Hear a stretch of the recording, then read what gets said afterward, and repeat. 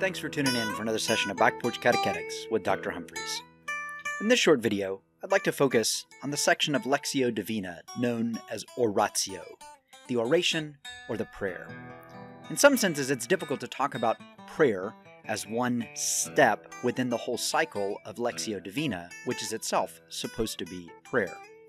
So I think in order to get to terms with what's happening in the Oratio, we have to think about its role within the cycle. You begin, of course, with your reading of Scripture, the Lectio, and then you move to the meditation, the meditatio. The oratio, the oration, the prayer, should arise out of the meditation. The point is that we have spent time with Scripture, we have heard, heard the inspired Word of God, we've reflected on it, and at some point in that reflection and our meditation, we rise out of the focus, the turning in of everything to the one central concept or the one central word, and we open up and speak to God, usually our words of praise, our words of thanksgiving, even our words of understanding. The fruits of our meditation come out in the oration. There are some schools of thought that attempt to force the oration. And this practice is good and healthy in some ways. It forces you to stop the meditation at a certain point and then articulate it, to give it words, even to express to other people. The oration might be written down in some sense as uh, a short talk or a lecture that might be given as the fruit of your meditation. This is not the way it works best for me, but it is the way that a number of people reflect upon their own oration. It's also important to think about the parallels or the patterns that would emerge within the sections of prayer. So for Lectio, you read, and that's the subject of your meditation.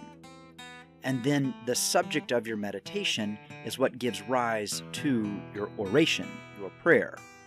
Once you have spoken that oration, gotten it off your chest, so to speak, you're ready to rest in that truth or rest in that presence of God, and that's your contemplation.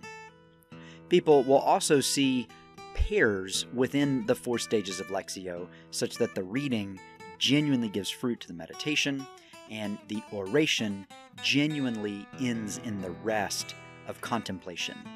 I think of oration, therefore, as the hinge between meditatio and contemplatio.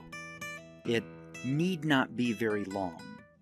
So sometimes for me, the oratio is simply a, a gasp, a recognition that meditation has gone well, and the fruits of meditation push quickly through oration and into contemplation.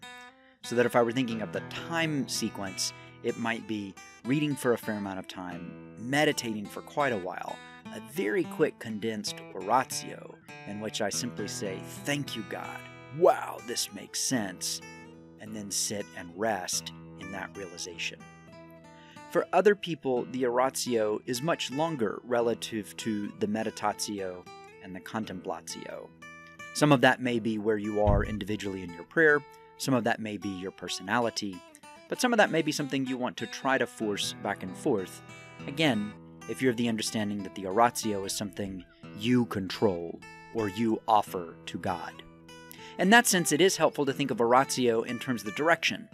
In the phase of lectio, you're taking in Scripture, and in the phase of meditatio, you're condensing and collecting, even listening to God's inspiration in your own meditation. In oratio, the cycle is flipped, and you are speaking back to God.